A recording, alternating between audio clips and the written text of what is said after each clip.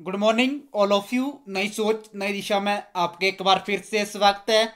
तो जितने भी आपके हमीरपुर बोर्ड की तरफ़ से एग्ज़ाम हो चुके हैं, उनके ओल्ड क्वेश्चन पेपर की रिवीजन चली है। तो जो चैनल पर पहली बार विज़िट कर रहे हैं, वो चैनल को लाइक शेयर एंड सब्सक्राइब ज़रूर कर ले, ताकि आने वाले हर वीडियो की अपडेट आपको समय समय पर मिलती रहे। तो आज हम डिस्कस करेंगे जो आपका जूनियर टेक्नीशियन फीटर का एग्ज़ाम हुआ था 19 अगस्त 2018 को ये करवाया गया था। इसमें आपके जीके के जितने भी महत्वपूर्ण क्वेश्चन पूछे गए थे, वो इस वीडियो में आपसे डिस्कस करेंगे। तो वीडियो शुरू करने से पहले जो भी चैनल पर पहली बार विज़िट कर रहे हैं, वो एक बार वीडियो को शेयर ज़रूर कर दें। तो चलते हैं आज के पहले क्वेश्चन की तरफ़। हड़प्पा कालीन स्थलों की अधिकांश सघनता किसके किनारे पाई गई है? राबी सतलुज, सिंधु ट्वेंटी वन का सही आंसर बताएँ तो आने वाले आपके TGT commission LT JVT Shastri clerk and JOIT and TET के लिए क्वेश्चन काफ़ी हेल्पफुल होने वाले हैं। तो वन ट्वेंटी वन का सही आंसर बताएँ। तो बहुत ही आपकी सिंधु सियोफनिस राइट जातक कथाएँ किसके समय के बारे में कहानियों से संबंधित है? वन ट्वेंटी टू जातक कथाएँ किसके समय के बारे में कहानियों से संबंधित हैं? One twenty two one twenty two का आंसर बताएँ। तो बहुत ही आपकी Bodhisattva B option is right चिंतन की जैन व्यवस्था निकट रूप से किसके सदृश्य है? वन ट्वेंटी थ्री चिंतन की जैन व्यवस्था निकट रूप से किसके सदृश्य है? वन ट्वेंटी थ्री तो ही आपकी संख्या। ए ऑप्शन इज़ राइट सातवान राजवंश का संतापक कौन था? वन ट्वेंटी फोर सातवाहन राजवंश का संतापक कौन था? वन ट्वेंटी फोर तो ही आपकी Shimukh C option is right Delhi का प्रथम सुल्तान कौन था जिसने राजतंत्र को वशानुगत बनाने का प्रयास किया था? वन ट्वेंटी फाइव दिल्ली का प्रथम सुल्तान कौन था जिसने राजतंत्र को वशानुगत बनाने का प्रयास किया था? वन ट्वेंटी फाइव तो बहुत ही बलवन। डी ऑप्शन राइट, विजयनगर साम्राज्य के अवशेष पाए जा सकते हैं।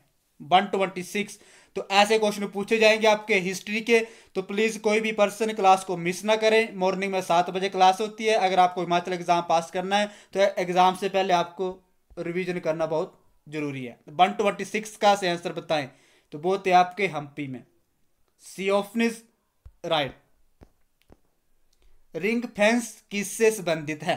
One twenty seven one twenty seven का आंसर बताएँ। रिंग फेंस किससे संबंधित है? तो बहुत ही आपके Warren Hastings A is right किस नेता को उसकी अमूल्य सेवाओं के कारण डायमंड ऑफ़ इंडिया के रूप में वर्णित किया जाता है। वन ट्वेंटी एट का सही आंसर बताएँ।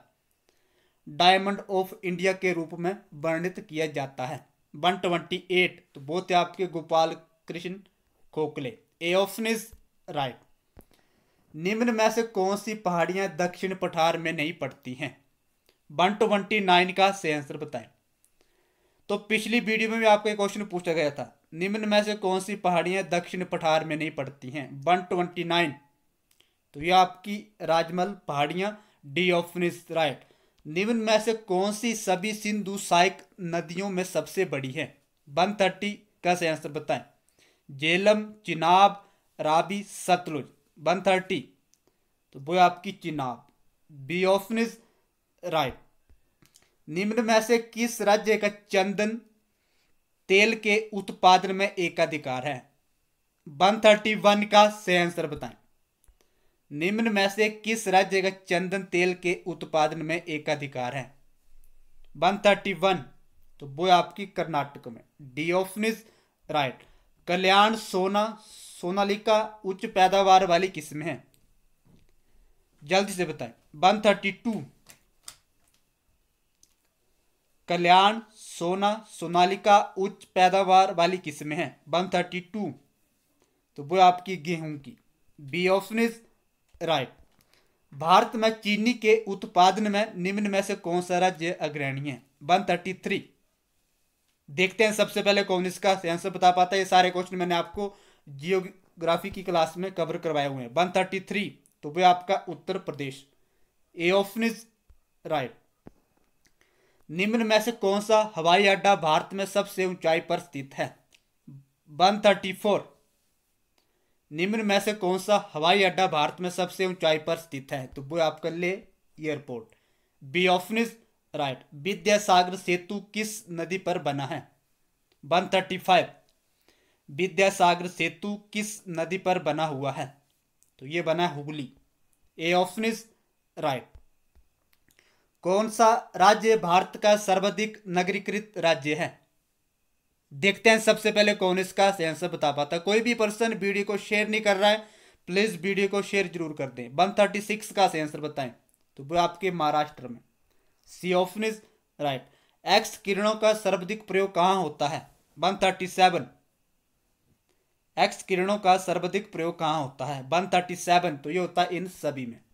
D option is right bleaching powder है। One thirty eight. One thirty eight का सही आंसर बताएँ, ब्लीचिंग पाउडर क्या है?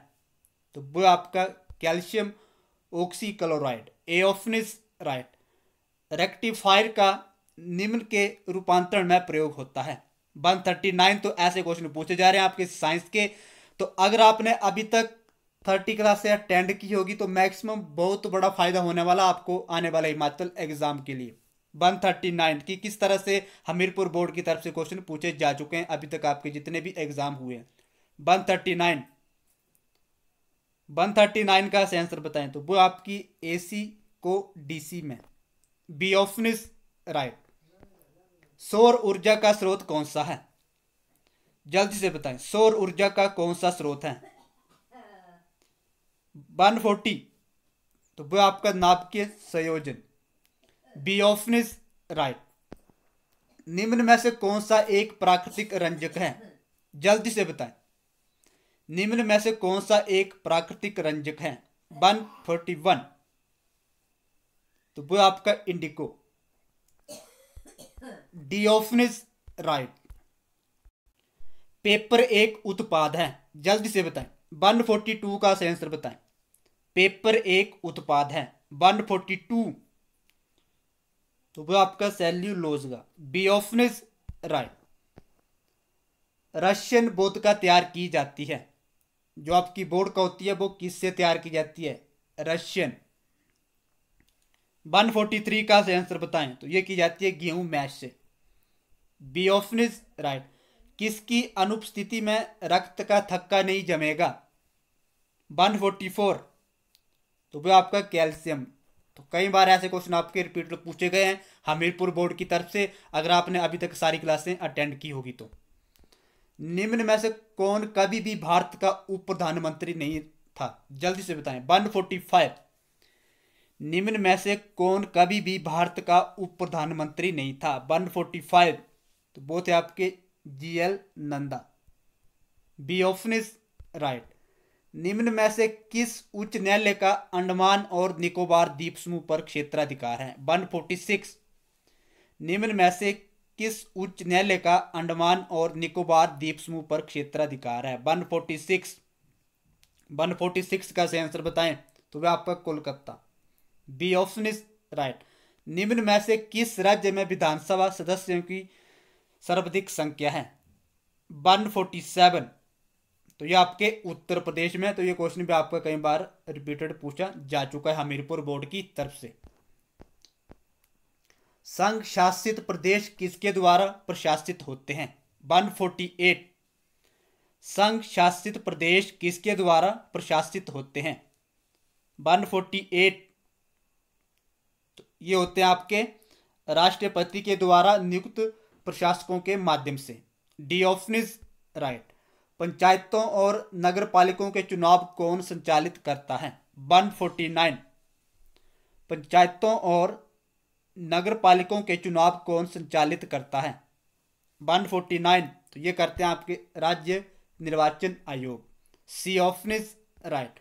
निम्न में से कौन सा एक आरबीआई से संबंध नहीं है? 150 निम्न में से कौन सा एक आरबीआई से संबंध नहीं है? 150 तो ये आपकी agriculture refinance corporation, C option is right. Bharat में पूंजी निर्माण का सर्वाधिक महत्वपूर्ण स्रोत कौन सा है? 151 भारत में पूंजी निर्माण का सर्वाधिक महत्वपूर्ण स्रोत कौन सा है? 151 तो वो आपकी घरेलू बचत। A option is right. निम्न निम्न में से कौन सा एक नाभिकीय शक्ति केंद्र नहीं है? 152 का सही आंसर बताएँ। निम्न में से कौन सा एक नाभिकीय शक्ति केंद्र नहीं है? 152 तो वो आपका चमेरा। सियोफनिस, राइट। विश्व निवेश रिपोर्ट किसके द्वारा प्रकाशित की जाती है? 153 का सही आंसर बताएँ। विश्व निवेश रिपोर्ट किसके द्वारा प्रकाशित की जाती है? तो ऐसे क्वेश्चन बनेंगे आपकी हमीरपुर बोर्ड की तरफ़ से। तो डेली सात बजे क्लास होती है। कोई भी पर्सन क्लास को मिस ना करें। अगर आपको हिमाचल एग्ज़ाम पास करना है तो पिछले कल ही आपकी टीजीटी कमीशन एलटी शास्त्री की एग्ज़ाम डेट अनाउंसमेंट हो चुकी है। तो अपनी स्टडी जारी रखें। इस चैनल के माध्यम से आपको भरपूर प्रयास किया जा रहा है एग्ज़ाम क्रैक करने के लिए। 153 का सही आंसर बताएँ। तो वो आपकी अंक टांड सियोफनिस राइट तो ऐसे क्वेश्चन पूछे जाएँगे आपके हमीरपुर बोर्ड की तरफ़ से। तिब्बत के किस दिशा में हिमाचल प्रदेश स्थित है? 157 तो ये आपकी पश्चिम में। सियोफनिस राइट कांगड़ा का शासक कौन था जब मोहम्मद तुगलक ने इस पर आक्रमण किया था? 158 तो कई बार आपको वीडियो के अंत में ही मैं आपको ये क्वेश्चन करवा चुका हूँ। तो वो थे पृथ्वी चंद सियोफनिस राइट। किस वर्ष में हिमाचल प्रदेश बिना विधानसभा के केंद्र शासित प्रदेश बना था? 159 देखते हैं सबसे पहले कौन इसका सही आंसर बता पाता तो वो थे आपके 1956 में हिमाचल प्रदेश बिना विधानसभा के केंद्र शासित प्रदेश बना था। शिमला ज़िले के निम्न मेलों में से कौन सा एक राज्य मेला है। 160 देखते हैं सबसे पहले कौन इसका सही आंसर बता पाता है। 160 का सही आंसर बताएँ। तो वो आपका इसमें से कोई नहीं। D option is right. धन के लिए नौकरी करो, मैं कार कौन सा है? 168 धन के लिए नौकरी करो, मैं कौन सा कार का है? 168 जल्दी से बताएँ। धन के लिए नौकरी करो, इसमें कौन सा कारक है? तो यह आपका संप्रदान। यौगिक शब्द किससे बना है? 169 यौगिक शब्द किससे बना है? 169 तो ये बना गायक से। 170 उत्थान का विपरीतार्थिक शब्द क्या होगा? जल्दी से बताएँ। पतन पतन उन्ती उन्नत। वन सेवेंटी का आंसर बताएँ। तो ये होगा उत्थान। ए ऑफनेस राइट तो आज के लिए इतना ही। अगर वीडियो अच्छी लगी हो तो प्लीज़ चैनल को लाइक शेयर एंड सब्सक्राइब ज़रूर कर लें, ताकि आने वाले हर वीडियो की अपडेट आपको समय समय पर मिलती रहे। तो मिलते हैं अगले वीडियो के साथ। तब तक के लिए धन्यवाद।